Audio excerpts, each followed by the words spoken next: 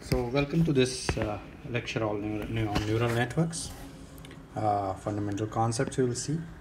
And in today's lecture uh, we are going to see that what are uh, the what are the uh, definitions of neural network. So we'll see what are the definitions we have for neural network. Then uh, we'll also see that what is uh, biological neuron uh, in context of human brain uh, how this human brain actually works and how biological biological neuron is there what it does. Then we'll see the model of a biological neuron. So neuron is basically a unit of a neural network. So we'll see model of a neural network first we'll see the biological one. And then we are going to see the uh, neuron model or a neuro- neuron model uh, in a mathematical sense okay?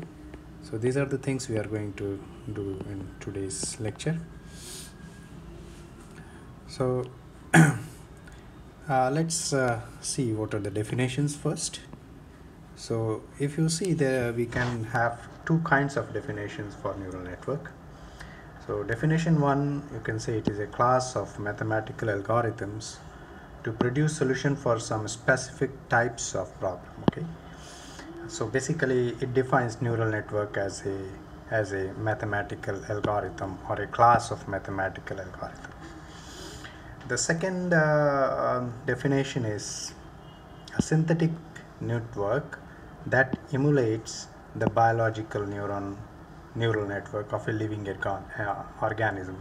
So this is the second definition, and if you see the second definition cor- corresponds to basically the philosophy on which neural networks are based, and the first definition is a practical definition that how we actually implement and how we do things, uh, useful things uh, through these kind of models.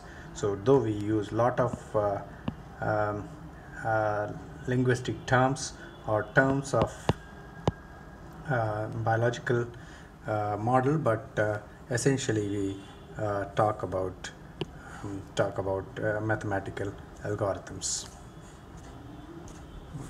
What comes here? Okay, so we'll go to the next one.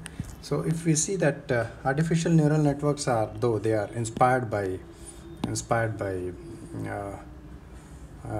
biological phenomena, but still the correspondence will yeah, with the real, real neural net systems is quite weak. Okay, uh, both in terms of model as well as in problem solving capability. So you you uh, we should not uh, take them as equivalent to a human brain because sometimes this this uh, this um, terminology actually suggests that it is something uh, similar to human brain in either in in terms of model or in terms of problem solving capability it is not a, not so powerful.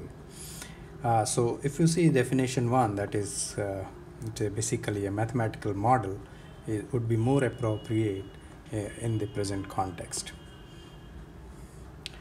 Now uh, in this uh, let's try to see how this biological neural and their uh, neurons and their artificial models work for human brain okay?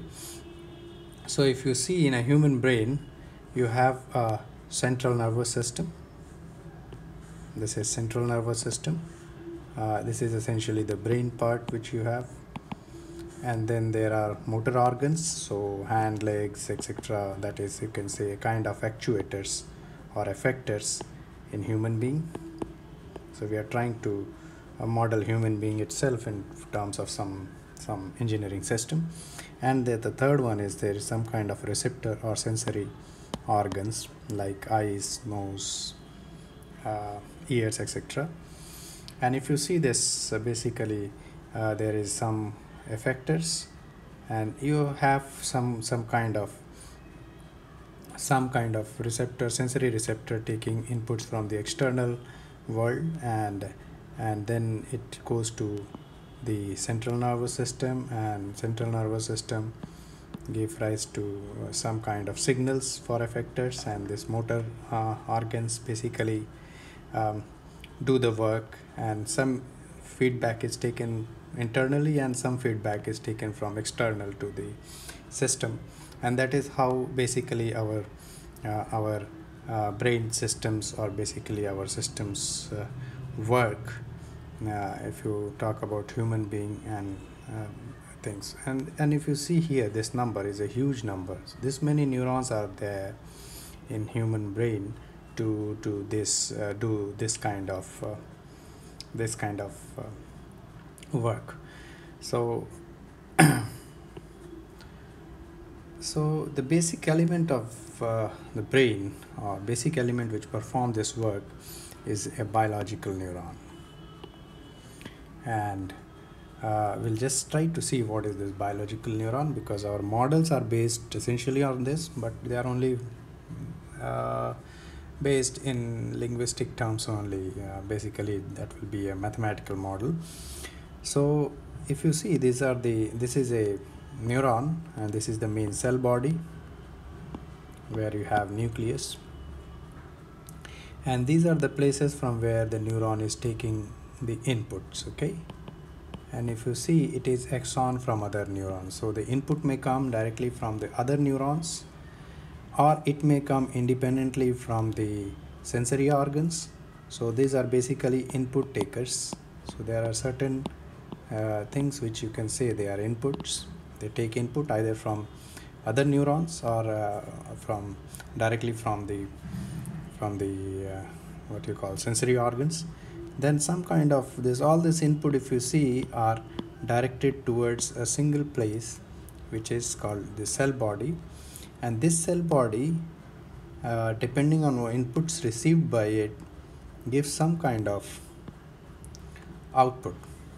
And that output is basically uh, that goes from axon and that output is either you say normally it comes in two form either it is on or off so either it is plus 1 or minus 1 if we um, uh, plus 1 or 0 or 1 or 0 as we talk about that is up uh, after uh, talk about the output of axon and again this goes to the next neuron.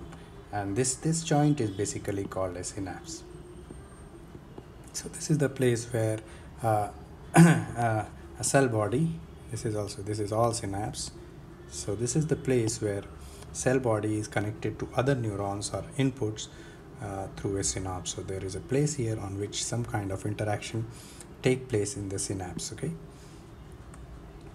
This is uh, because it is again and again used so the synapse becomes an important word here. Now if you see this is very basic model which was actually you can say it was the it was first proposed model of a neuron and uh, it was proposed by McCulloch-Pitts and it is called McCulloch-Pitts model.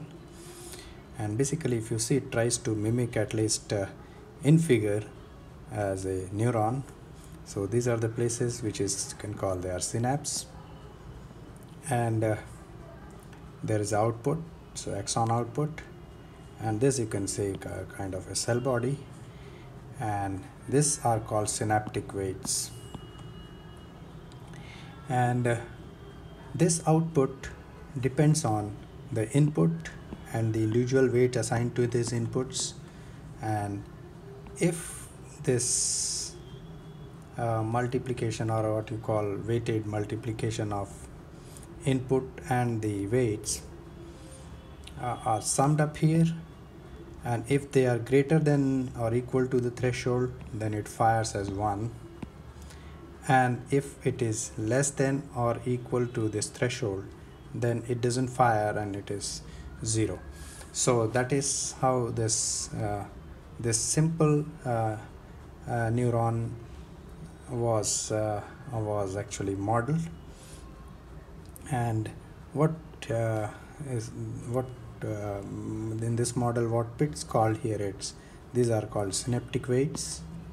And these are input and this whole is called an input layer. So because it forms kind of a layer and these are individual inputs here. So sometimes when you talk about time we say this is a one input given at a particular time. And sometimes we also say that it is n inputs. So depending on the context if you're talking about uh, in giving input at a particular time then we say this whole set of input is one input. And when we talk about individually we say that these are inputs. And then these are synaptic weights which are associated with each of the connectors here okay connectors to the cell body.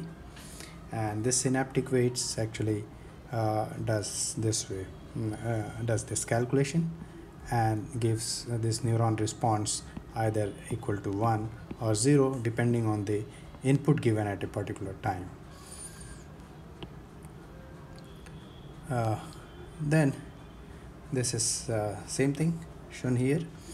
Uh, now this the, if you see the earlier one it was uh, McCulloch-Pitts model which actually uh, mimic the actual uh, model of a neuron because uh, the human brain normally uh, human neurons normally respond in this way. Either they give only two inputs binary either it fires or it doesn't. But uh, uh, in other cases it was later on generalized. This neuron was generalized because this neuron had a very very limited uh, thing. And uh, in a human brain if you see the number of neurons are 10 to e raised to power 11 whereas when we talk about here we are hardly going to get that kind of neurons. So a generalized neuron was also modeled based on the same concept you again have an input layer and the same synaptic weights and this time this uh, output is not 0 or 1 but basically it is some kind of function some kind of function of this uh, W transpose X that is uh, weight matrix multiplied by X. So if this is weight 1, 2 and weight n and this is x1, x2 and xn. So if you see these two are multiplied and then you have some kind of a function associated with this uh, Wt into x which is essentially if you see it is this. But this time it won't be 1 or 0 it will it will depend on the values of this okay? So that is uh, what we say is generalized neuron is uh, a basic neuron is basically have uh, will have only two output either it will be 1 or 0 uh, so let's now try to see the mathematical uh, concept here. So this is input layer if you see. This is the input layer here. It is essentially a it can be modeled as array of uh, values x1 x2 up to xn. And this is the weight matrix here again it is also a array for a particular neuron. if you have one neuron you will have as many input as xn so w1 w2 up to wn and uh, uh, the output will be dependent on multiplication of these two arrays. So that is how a mathematical model of a single neuron. This is for a single neuron. You can have several neuron in this, but we'll talk about single neuron first and uh, multiple neurons will follow after that. so here I am trying to show a basic calculation if you see.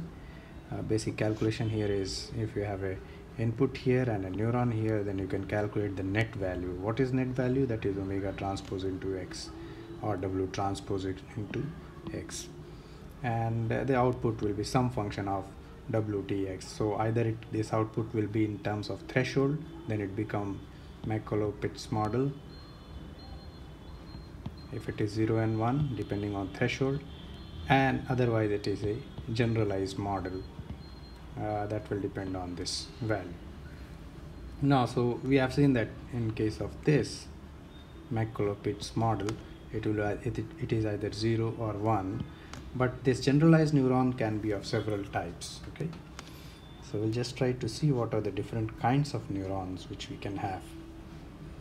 So here if you see this is uh, McCulloch-Pitts model giving 0 if it, if it is beyond threshold then it becomes 1 if it is below threshold then you get 0 and it is 0 and 1 concept and we call it a unipolar neuron because it is unipolar it is in positive domain only.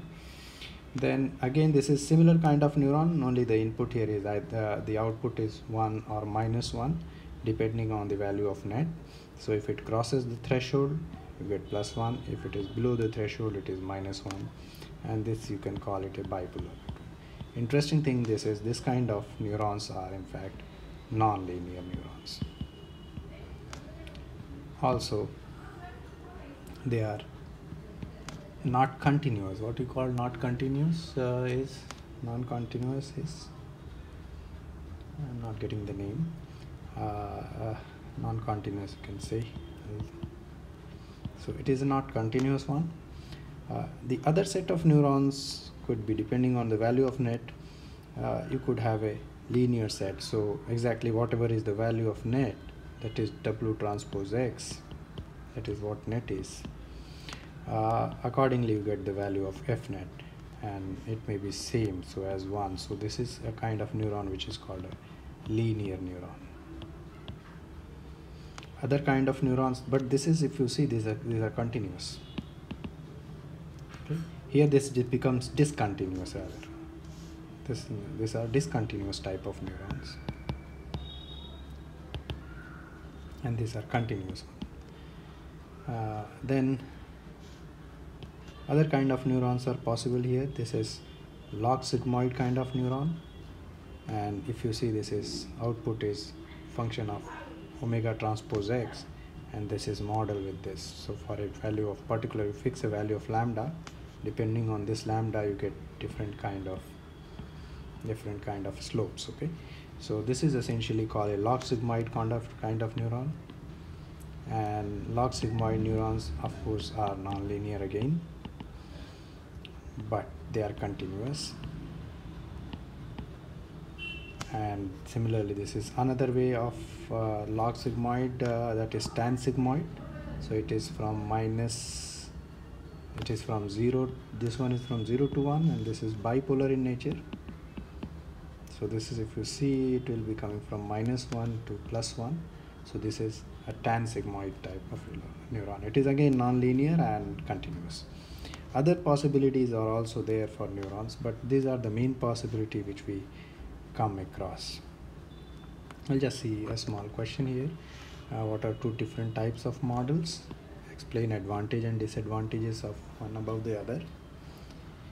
And if you have this as x and this as w that is weights then can you calculate the calculate the